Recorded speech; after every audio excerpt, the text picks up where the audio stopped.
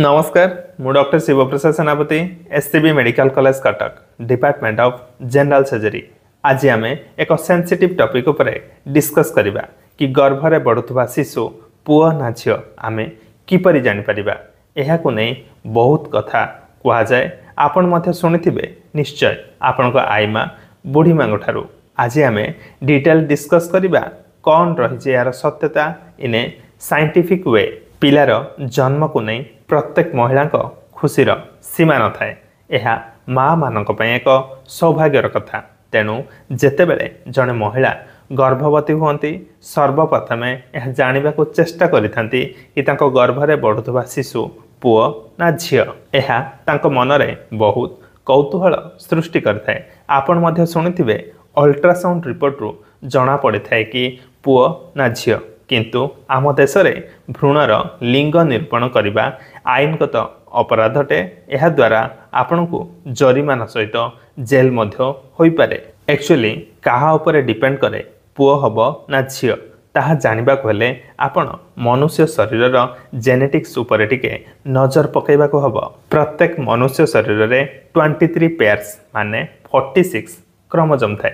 ସେ ପୁରୁଷ ହୁଅନ୍ତୁ କି ମହିଳା twenty two pairs chromosome same ଥାଏ କିନ୍ତୁ one pair of sex chromosome ଅଲଗା ଅଲଗା ଥାଏ ମହିଳାଙ୍କଠାରେ ଏକ୍ସ ଏକ୍ସ ଏବଂ ପୁରୁଷଙ୍କଠାରେ ଏକ୍ସ ୱାଇ ମହିଳାଙ୍କ ଏଗ୍ ଏବଂ ପୁରୁଷଙ୍କ ଶୁକ୍ରାଣୁ ବା ସ୍ପର୍ମ ତିଆରି ସମୟରେ ଏହା ଡିଭାଇଡ୍ ହୋଇଥାଏ ମହିଳାଙ୍କ ଏଗ୍ ସହିତ ପୁରୁଷଙ୍କ ସ୍ପର୍ମ ଫର୍ଟିଲାଇଜ୍ କଲେ ଛୁଆ ଜନ୍ମ ହୁଏ ମହିଳାଙ୍କର ଯେହେତୁ ଏକ୍ସ ଏକ୍ସ କ୍ରୋମୋଜୋମ୍ ରହିଛି ମହିଳା ସବୁବେଳେ ଏକ୍ସ ଟାଇପ୍ର ହିଁ ଏଗ୍ ପ୍ରଡ୍ୟୁସ୍ କରନ୍ତି କିନ୍ତୁ ପୁରୁଷଙ୍କ କ୍ରୋମୋଜୋମ୍ ଏକ୍ସ ୱାଇ ହୋଇଥିବାରୁ ପୁରୁଷଙ୍କ ସ୍ପର୍ମ ଏକ୍ସ ଟାଇପ୍ର କିମ୍ବା ୱାଇ ଟାଇପ୍ର ହୋଇଥାଏ। ମହିଳାଙ୍କ ଏକ୍ସ ବାଲା ଏଗ୍ ସହିତ ପୁରୁଷଙ୍କ ଏକ୍ସ ବାଲା ସ୍ପର୍ମ ଫର୍ଟିଲାଇଜ୍ କଲେ ଏକ୍ସ ଏକ୍ସ ବାଲା ଝିଅ ଜନ୍ମ ହୋଇଥାଏ।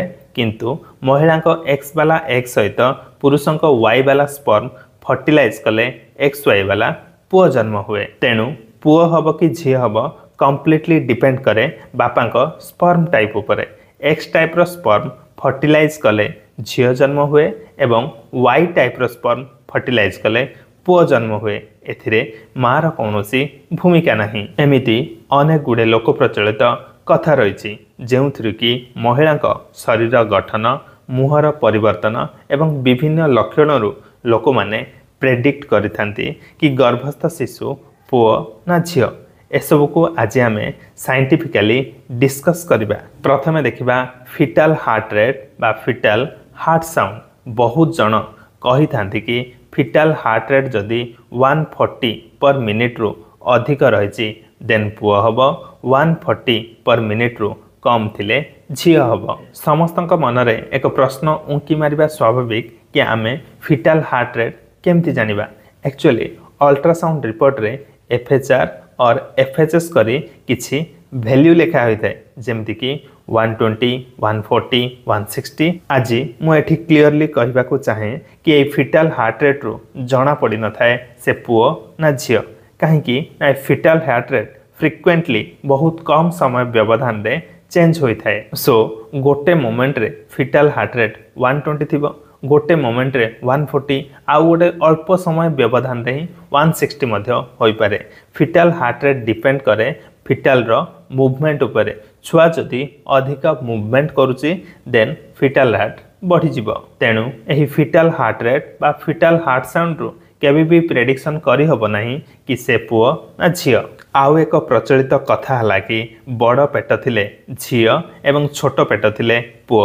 ଏହାର ମଧ୍ୟ କୌଣସି ସତ୍ୟତା ନାହିଁ। ପ୍ରେଗନେଣ୍ଟ ସ୍ତ୍ରୀ ଲୋକଙ୍କ ପେଟ ବଡ଼ ହେବ କି ଛୋଟ ହେବ ଏହା ଡିପେଣ୍ଡ କରେ ଗର୍ଭସ୍ଥ ଶିଶୁର ସାଇଜ୍ ଏବଂ ଓଜନ ଉପରେ ନା କି ତା'ର ସେକ୍ସ ଉପରେ। କିନ୍ତୁ ହଁ ଆମେ ଯଦି କମ୍ପେୟାର କରିବା ସେମ୍ ଓଜନର ପୁଅ ଏବଂ ଝିଅ ମନେକର ଥ୍ରୀ କେଜି ଓଜନର ଝିଅ ଅପେକ୍ଷାକୃତ ସାଇଜ୍ରେ ବଡ଼ ଦେଖାଯାଏ ତିନି କେଜି ପୁଅ ଅପେକ୍ଷା କାହିଁକି ଝିଅମାନଙ୍କର ଫ୍ୟାଟ୍ କଣ୍ଟେଣ୍ଟ ଅଧିକା ଥାଏ। ଥାର୍ଡ଼ କମନ୍ ସେଇଂ ହେଲା ପେଟ ଯଦି ତଳ ଆଡ଼କୁ ବଢ଼ୁଛି ଛୁଆ ଯଦି ପେଟର ତଳ ପର୍ସନରେ ରହିଛି ଦେନ୍ ପୁଅ ହେବ ଛୁଆ ଯଦି ପେଟର ଉପର ପର୍ସନକୁ ରହୁଛି ଝିଅ ହେବ। ଏହାର ମଧ୍ୟ ସାଇଣ୍ଟିଫିକାଲି କୌଣସି ସତ୍ୟତା ନାହିଁ। କାହିଁକି ନା ଛୁଆ ପେଟର ଉପର ଆଡ଼କୁ ରହିବ କି ତଳ ଆଡ଼କୁ ରହିବ ଏହା ଡିପେଣ୍ଡ କରେ ପ୍ରେଗନେଣ୍ଟ ମଦରଙ୍କ ଏବଡୋମିନାଲ ୱାଲ୍ ଷ୍ଟ୍ରେନ୍ଥ ଉପରେ। ଯଦି ଏହା ଆପଣଙ୍କର ପ୍ରଥମ ପ୍ରେଗନେନ୍ସି ହେଇଥିବ ଏବଡୋମିନାଲ ୱାଲ୍ ମସଲର ଷ୍ଟ୍ରେନ୍ଥ ଅଧିକା ଥିବ ଦେନ୍ ଛୁଆ ଉପର ଆଡ଼କୁ ରହିବ। ଯଦି ଏହା ଆପଣଙ୍କର ସବସିକ୍ୱେଣ୍ଟ ପ୍ରେଗନେନ୍ସି ସେକେଣ୍ଡ କିମ୍ବା ଥାର୍ଡ଼ ପ୍ରେଗନେନ୍ସି ଏବଡୋମିନାଲ ୱାଲ୍ର ମସଲ ଷ୍ଟ୍ରେନ୍ଥ କମ୍ ଥିବ ତେଣୁ ଛୁଆ ତଳ ଆଡ଼କୁ ରହିବ।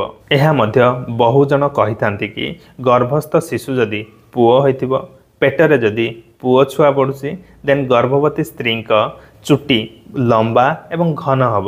ସୁନ୍ଦରତା ବୃଦ୍ଧି ପାଇବ। ଫେସ୍ର ଉଜ୍ଜଳତା ଅଧିକା ହେବ। ଯଦି ଝିଅ ଛୁଆ ଅଛି ଦେନ୍ ମାଆର ଚୁଟି ଅଧିକ ଝଡ଼ିବ ସୁନ୍ଦରତା କମିଯିବ। ଏହାର ମଧ୍ୟ କୌଣସି ସତ୍ୟତା ନାହିଁ। ଗର୍ଭବତୀ ସ୍ତ୍ରୀ ଲୋକଙ୍କ ଗ୍ଲୋଇଂନେସ୍ କିମ୍ବା ସୁନ୍ଦରତା ପୁଅ କିମ୍ବା ଝିଅ ଉପରେ ଡିପେଣ୍ଡ କରିନଥାଏ। ଏହା ଡିପେଣ୍ଡ କରେ ସେମାନଙ୍କ ଡାଇଟ୍ ଏବଂ ହର୍ମୋନାଲ ଚେଞ୍ଜେସ୍ ଉପରେ। ତେଣୁ ସ୍କିନ୍ ଟେକ୍ସଚରକୁ ନେଇ ମଧ୍ୟ ଏହା ପ୍ରେଡିକ୍ସନ୍ କରିହେବ ନାହିଁ କି ଗର୍ଭସ୍ଥ ଶିଶୁ ପୁଅ ନା ଝିଅ। ଏମିତି ଅନେକ ଲୋକ କଥା ରହିଛି। ଆଉ ଗୋଟେ କଥା ହେଲା ଯଦି ଗର୍ଭବତୀ ସ୍ତ୍ରୀ ଲୋକଙ୍କୁ ଅଧିକ ଲୁଣ ଜିନିଷ ଆଚାର ଖଟା ନମକିନ୍ ଆଇଟମ୍ସ ଖାଇବାକୁ ପସନ୍ଦ ହେଉଛି ଦେନ୍ ପୁଅ ହେବ। ଯଦି ଅଧିକ ଚକୋଲେଟ୍ ଅଧିକ ମିଠା ଜାତୀୟ ଖାଦ୍ୟ ଖାଇବାକୁ ଇଚ୍ଛା ହେଉଥିଲେ ଝିଅ ହେବ। ଏହା ମଧ୍ୟ ଠିକ୍ ନୁହଁ। ଏମିତି ବହୁତ ଫନି ଲୋକ କଥା ସବୁ ପ୍ରଚଳିତ ହୋଇଆସୁଛି କିନ୍ତୁ ବିଲିଭ୍ ମି ଏହିସବୁ କଥାର କୌଣସି ବି ସତ୍ୟତା ନାହିଁ। କିନ୍ତୁ କିଛି ଲୋକ ଏହି ପ୍ରେଡିକ୍ସନକୁ ଠିକ୍ ବୋଲି ଭାବିଥାନ୍ତି କାହିଁକି ନା ସେମାନଙ୍କୁ ଏହା ଠିକ୍ ଲାଗିଲା ଭଳି ଲାଗିଥାଏ। କାରଣ ପେଟରେ ବଢ଼ୁଥିବା ଛୁଆ ଏଇଦର ପୁଅ ହେବ କିମ୍ବା ଝିଅ ହେବ ଚାନ୍ସ ହେଲା ଫିଫ୍ଟି ଫିଫ୍ଟି ଶେଷରେ ଏତିକି କହିବି ସନ୍ତାନ ପ୍ରାପ୍ତିର ସୁଖ ଜଣେ ନାରୀକୁ ସମ୍ପୂର୍ଣ୍ଣ କରିଥାଏ। ସେ ପୁଅ ହେଉ ଅବା ଝିଅ ମା ଡାକ ଜଣେ ନାରୀ ପାଇଁ ସବୁଠୁ ମିଠା ହୋଇଥାଏ। ତେଣୁ ଗର୍ଭରେ ବଢ଼ୁଥିବା ଶିଶୁ ପୁଅ ନା ଝିଅ ଏହାକୁ ଗୁରୁତ୍ୱ ନ ଦେଇ ଗୋଟେ ସୁସ୍ଥ ସବଳ ଶିଶୁ ଯେଭଳି ଭାବେ ଜନ୍ମ ହୋଇପାରିବ ସେଥିପ୍ରତି ଦୃଷ୍ଟି ଦିଅନ୍ତୁ। ହଉ ଆଜିର ଏହି ୟୁନିକ୍ ଭିଡ଼ିଓଟି ଆପଣମାନଙ୍କୁ ଭଲ ଲାଗିଥିବ। ଭିଡ଼ିଓଟି ଭଲ ଲାଗିଥିଲେ ଲାଇକ୍ କରନ୍ତୁ ଆପଣଙ୍କ ସାଙ୍ଗସାଥୀଙ୍କ ମଧ୍ୟରେ ସେୟାର କରନ୍ତୁ ଏବଂ ମୋ ଚ୍ୟାନେଲ୍ ଡକ୍ଟର ସେନାପତିକୁ ସବସ୍କ୍ରାଇବ୍ କରନ୍ତୁ। ଆପଣଙ୍କର ଯେକୌଣସି ହେଲ୍ଥ ଇସ୍ୟୁ ଥିଲେ ମୋତେ କମେଣ୍ଟ ସେକ୍ସନରେ ଜଣାନ୍ତୁ ତାହାର ମୁଁ ଆନ୍ସର ରଖିବାକୁ ଚେଷ୍ଟା କରିବି। ରହିଲି ନମସ୍କାର।